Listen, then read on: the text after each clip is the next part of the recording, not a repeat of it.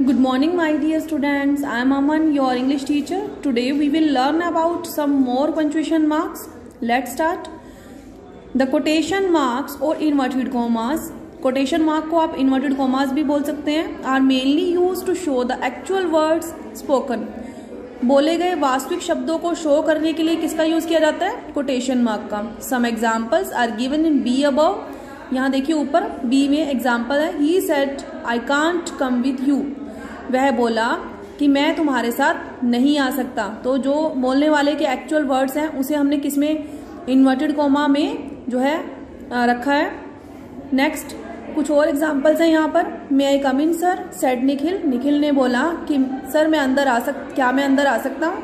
तो actual words हैं उसके बोले हुए ये, और इसे हमने इन्वर्टेड कोमा के अंदर लिखा है। Next the apostrophe use in the possessive form of nouns nouns के पोसेसिव फॉर्म में अपोस्ट्रॉफी का यूज़ करेंगे। कैसे? सिंगुलर नाउन में यूज़ करेंगे हम।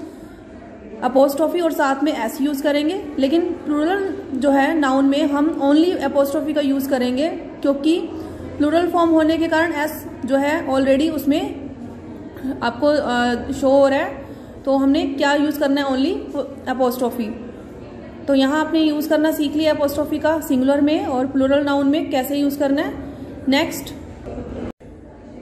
in short forms to show whether letters have been omitted short forms में ये दर्शाने के लिए कि लेटर्स को कहाँ कहाँ ओमिट किया गया है, वहाँ यूज़ करते हैं पोस्ट ऑफी का।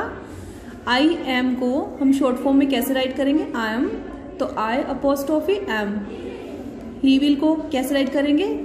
He apostrophe double L next capital letters capital letters are mainly used at the beginning of every sentence शुरुआत में प्रत्येक वाक्य के बिल्कुल स्टार्टिंग में यूज़ करते हैं हम कैपिटल लेटर्स का। For the pronoun I I pronoun है। और इसे आप स्टार्टिंग में लिखेंगे या आप मिड में लिखेंगे, आप हमेशा इसे कैपिटल लेटर में ही राइट करेंगे। To begin all proper nouns and adjective form from them हमेशा प्रॉपर नाउन्स को आपने कैसे राइट करना है? कैपिटल लेटर्स में। और जो एजेक्टिव बनती हैं उनसे, उन्हें भी आपने किसमें राइट करना है? कैपिटल लेटर्स में। एग्ज़ाम्पल से समझेंगे। बिस्मिल्ला खान प्रॉपर नाउन है तो हमने कैपिटल लेटर्स में राइट किया है बिस्मिल्ला में बी और खान में के to begin the word God God का वर्ड हम हमेशा कैपिटल लेटर में राइट करेंगे।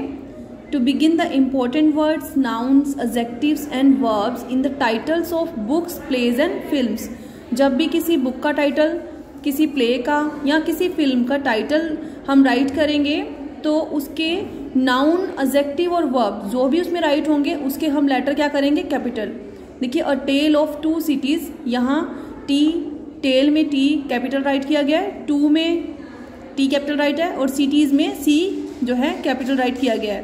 तो आपने ध्यान देना है कैपिटल लेटर्स को आपने कैसे यूज़ करना है?